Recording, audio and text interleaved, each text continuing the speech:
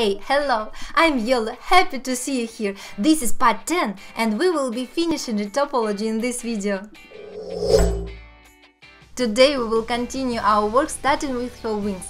Honestly, I could use the topology from my high poly model, but I decided to practice retopology one more time. So let's go into retopoflow. In my case, her wings could have almost any topology since I don't plan to bend them. The only movement will be at the base of the wings.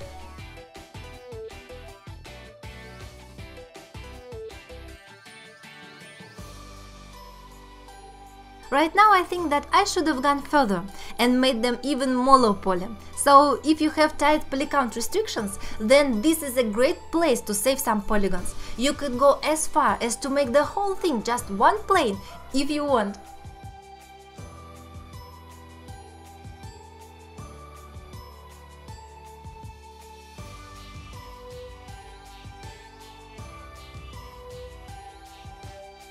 I'm pressing the Ctrl plus A hotkey to fix the mirror modifier. And I'm adding the solidify modifier to give her wings some thickness.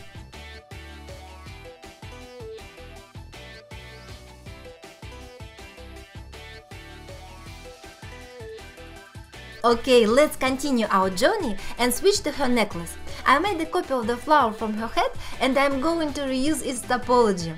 I'm selecting polygons of one petal, inverting the selection by pressing Ctrl plus I and deleting the rest. Then I'm pressing the right mouse button and choosing Set Origin and Center Mass. That way it will be easier to position it in 3D space. I'm moving petal roughly, as we don't really need an exact match, scaling it a bit and moving into retopoflow. Don't forget to press Ctrl plus A and apply all transforms.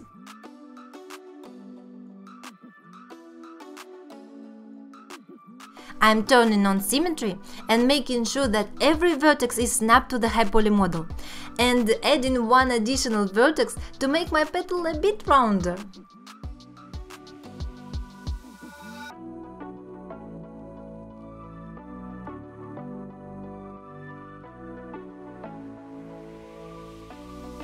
I move into the next one, duplicating this one, and before we move it, let's make our life a tad simpler. Turn on Affect Origins in the Option drop-down menu and move the origin point roughly at the center of your neck. Now we can rotate the petal and move it to the next one.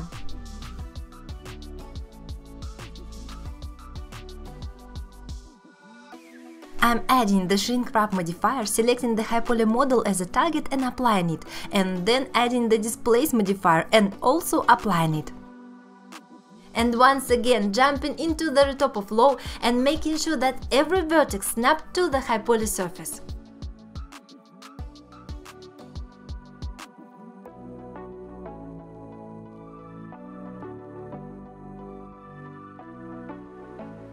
I'm repeating the same steps one more time.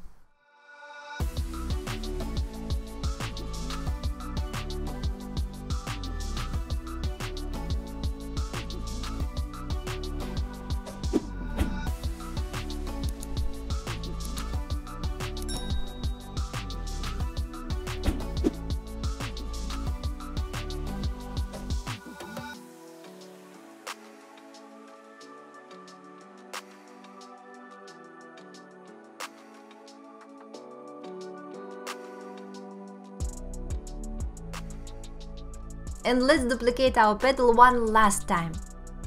First scaling it and in the mirror modifier choosing the high poly petal as a target. Next I'm adding the shrink wrap modifier, selecting the same high poly model as a target and applying it. And now we can tweak some vertices. Oh, as you can see in the top of low symmetry was broken. That's because the origin point of the low poly model wasn't at the right place. So I'm pressing Ctrl plus A and choosing Apply all transforms. Back to moving points. And now you can see that the model is too transparent, which means that its faces are flipped. So let's flip them back by pressing Alt plus N and choosing Flip.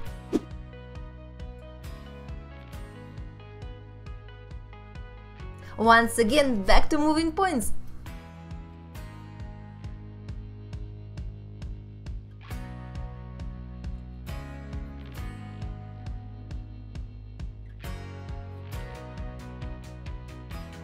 And now I'm selecting every petal and joining them by pressing Ctrl plus J hotkey. Finally, I will add some thickness to them by Solidify modifier. At first, I wanted to move the Solidify modifier to the top of the stack and apply it. But in that case, I would get a lot of additional polygons on the symmetry plane since the mirror modifier was below the solidify. So to avoid this, I decided to apply all modifiers exactly in the order they were and then remove the half of the model and add another mirror modifier. And now I'm going to reduce the number of polygons at the bottom of the petals. To do so, I'm turning on two things. Snap to the vertex with the project onto self option and auto merge vertices. Thus, when I snap any vertex, they will be automatically merged. I'm working on every petal one by one.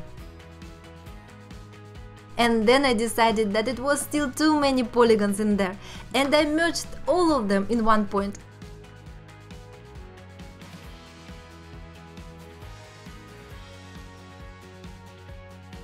And also, I decided to reduce the number of polygons on her wings too. I'm making them simpler and simpler.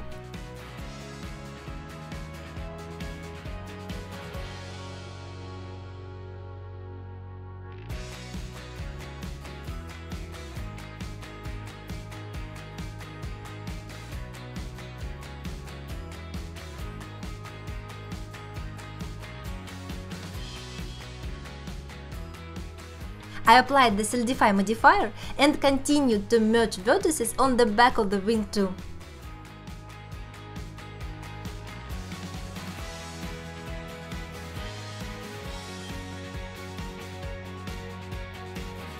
Okay, moving on. Now I'm going to work on her eyelashes. To make eyelashes, I select edges of her eyelids, then press Shift plus D to copy them, and then P to separate them from the body. Now we can simply use extrude with E hotkey and S to scale them in all directions. Next I'm assigning a dark material to distinguish them easily from the body. And now I'm just shaping eyelashes to make them cute and constantly checking that they are not clipping with the body mesh.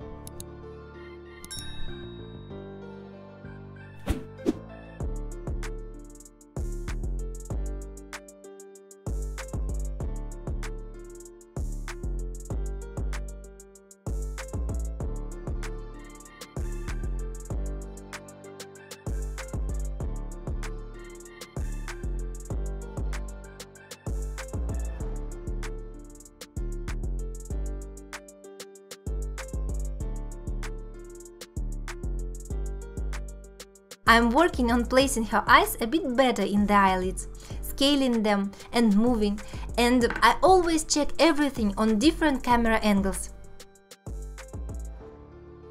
Back to eyelashes. When you are extruding topology from the edges, the resulting faces can be facing any direction, so be sure to check that. In the viewport overlays, turn on face orientation, and then flip red faces by pressing Alt plus N and choosing flip. Everything should be blue now. I decided to go back to her antennas and remove some polygons there. As you can see, my hotkey for merge is not M but Shift plus X instead. And also I am pressing Shift plus R to repeat the last action I made.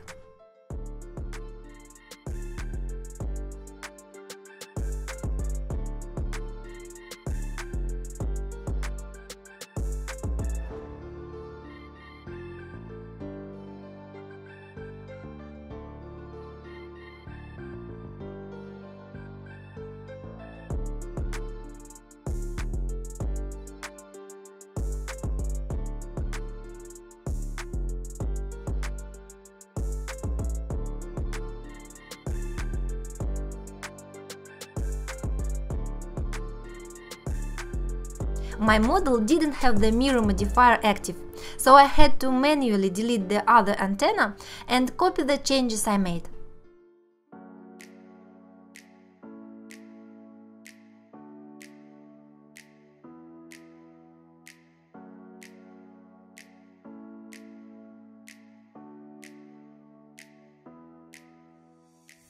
And finally, the last thing we need to do is her teeth.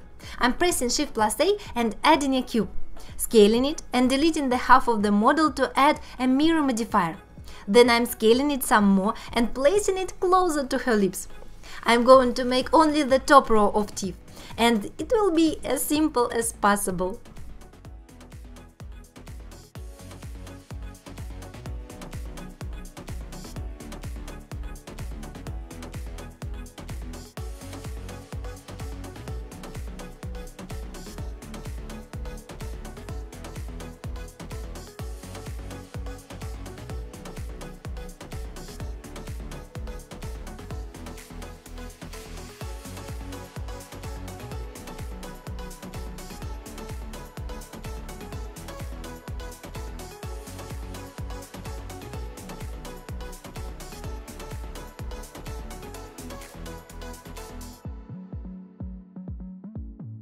I'm deleting the top faces as we will never be able to see them. I'm placing her teeth not too close to the lips.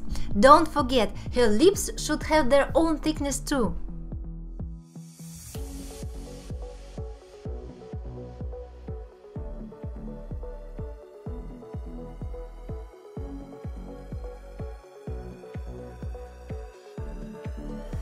And that's it. We finished here. We finished the topology. Here is the final result.